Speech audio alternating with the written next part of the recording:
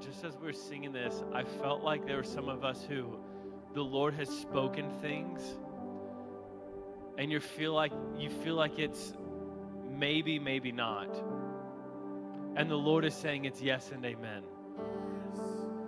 Like there's some things that maybe from last year, I don't know when, but the Lord spoke things and you don't see it and you're saying maybe, maybe not.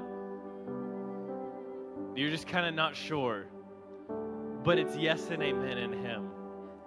And our confidence is His faithfulness. It's His faithfulness. That's our confidence. That He's as faithful as the sunrise. That He's as faithful as the sunrise. So, Lord, I thank you for your faithfulness. And Lord, I pray that you would restore our confidence and your faithfulness. Lord, would you restore our confidence in your faithfulness this morning? Lord, that the things that you've spoken, you will do that you are faithful. You are faithful. You are faithful. And Lord, I pray that we would be full of faith in your faithfulness.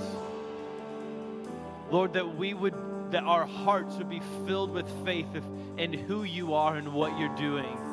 And Lord, I thank you that all of your promises are yes and amen. Let's sing this again. And if there's anything in your heart that you're questioning, and it feels like a maybe, maybe not. I want you to just set your heart and set your mind on His faithfulness and set your confidence on His faithfulness. Thank you, Lord.